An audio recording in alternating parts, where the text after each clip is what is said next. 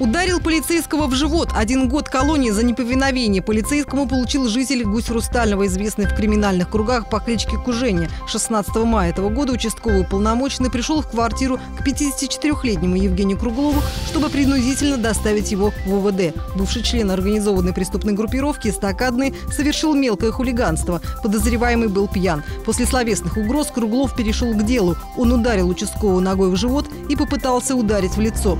Суд признал Евгения Круглова виновным в применении насилия в отношении представителей власти. Один год преступник проведет в колонии общего режима.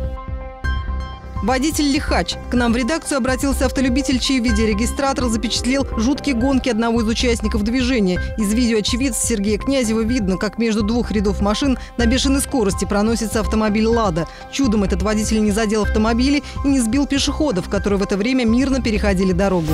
Водитель «Камикадзе» совершил свой невероятный маневр на глазах у изумленных сотрудников ДПС, чей автомобиль стоял в правом ряду машин. После того, как загорелся зеленый свет, инспекторы настигли грубого нарушителя правил правил дорожного движения. Правда, как наказали лихача, который чуть не сбил людей, выяснить в ГИБДД не удалось.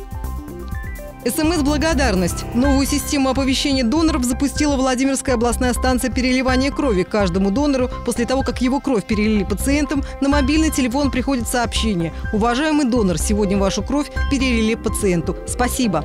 Главный врач областной станции переливания крови Дмитрий Находкин рассказал, что идею СМС-рассылки со словами благодарности они позаимствовали у коллег из Новосибирска. СМС-сообщения владимирские доноры стали получать еще в октябре. За это время были отправлены более тысячи сообщений. Доноры Доноры были приятно удивлены таким отношением к их миссии. Благодаря им каждый день со станции переливания отправляют до 15 литров крови остро нуждающимся в ней пациентам во все концы региона. Раньше телефонная база данных доноров использовалась только для того, чтобы в экстренном порядке вызвать носителей редких групп крови.